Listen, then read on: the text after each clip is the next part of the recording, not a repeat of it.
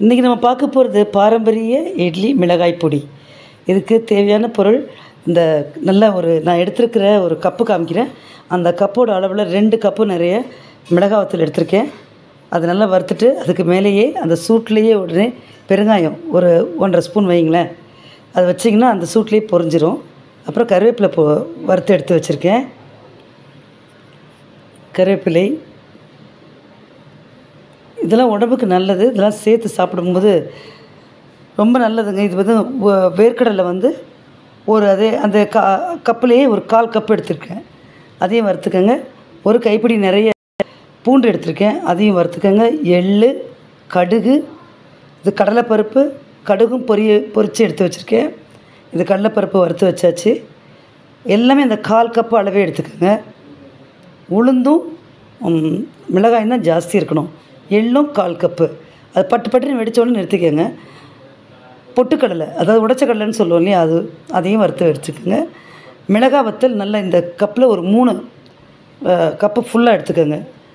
இது வந்து ஒரு ரெண்டு கப்பு இந்த மிளகாயும் ஒரு கால் கப்பு வந்து காஷ்மீர் மிளகாயும் போட்டிங்கன்னா கலர் உங்களுக்கு நல்லா கிடைக்கும்.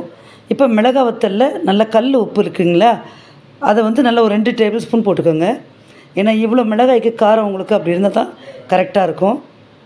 ரெண்டு டேபிள் உப்பு கூடயே கடலை போட்டு அரைக்கலாம். அப்போ தான் நமக்கு வந்து அந்த பொடி நல்லா சாஃப்டாக நல்லா கிடைக்கும். பொடி கிடைக்கும். அந்த பொடி அரைச்ச பிறகு அதில்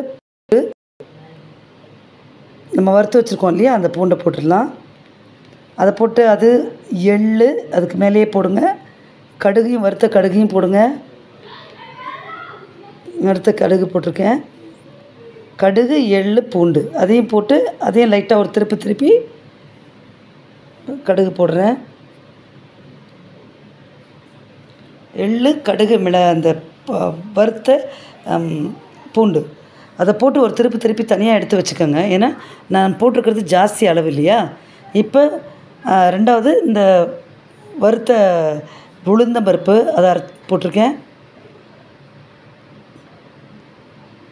ரெண்டு பெரிய தட்டு போட்டிருக்கேன். அந்த பாத்திரத்தில் அதையும் நல்லா பொடி பண்ணிக்கலாம். இப்போ இந்த எல்லாம் முதல்ல எடுத்த பொடியை கொட்டி வச்சுருக்கோம் இல்லையா? இதில் நம்ம இப்போ உளுந்து பொடி பண்ணோம்ல அந்த பொடியும் இதில் கலந்துடலாம். கலந்து ரெண்டுத்தையும் இப்போ வந்து ஒன்றா மிக்ஸ் பண்ணிவிடுங்க இந்த குவான்டிட்டி பெரிய குடும்பத்துக்கு இந்த அளவுக்கு செஞ்சால் தான் ஒன் மந்த்து ஃபுல்லாக வருதுங்க. இந்த அளவில் பண்ணிங்கன்னா ஏன்னா எல்லோரும் நல்லா சாப்பிட்றவங்க. இது ரொம்ப டேஸ்ட்டாக இருக்கும். அப்படியே முக்கி சாப்பிட்றாங்க. அதனால தான் இதில் அந்த கருவேப்பிலையை கையால் நல்லா நொறுக்கி அப்படியே ஒரு மாதிரி பொடி பண்ணி தூவி விட்ருங்க நம்ம மிக்சர்லாம் சாப்பிடும்போது அதில் கருவேப்பிலை வரும் பார்த்தீங்களா? அந்த மாதிரி இருக்கும். இதெல்லாம் சேர்ந்து அந்த கலவை வந்து ரொம்ப டேஸ்ட்டாக இருக்குங்க. இதில் எல்லா விதமான சத்தும் காலை நேரத்தில் நமக்குள் ஒரு சிற்றுண்டிக்கு தேவையான அத்தனை சத்துக்கள் அடங்கிய ஒரு பொடி நம்மளுக்கு கிடச்சிடுது. இது ஸ்கூலுக்கு கொடுத்து அனுப்புறதுக்கு ரொம்ப வசதியாக இருக்கும். ஈஸியாகவும் இருக்கும். அப்படியே எண்ணெயில் துவச்சி கொடுத்து அனுப்பலாம். இல்லை இட்லி சாம்பார் ஊற்றிட்டு மேலே இதை தூவியும் கொடுத்து விடலாம். இதை வந்து நம்ம எப்படி வேணாலும் சாதத்தில் போட்டு சாப்பிட்லாங்க. அவ்வளோ டேஸ்ட்டாக இருக்குங்க. அடுத்து ஒரு செய்முறையில் உங்களை சந்திக்கும் வரை உங்களிடமிருந்து விடைபெறுவது ஞான செல்வி பேட்ரிக்.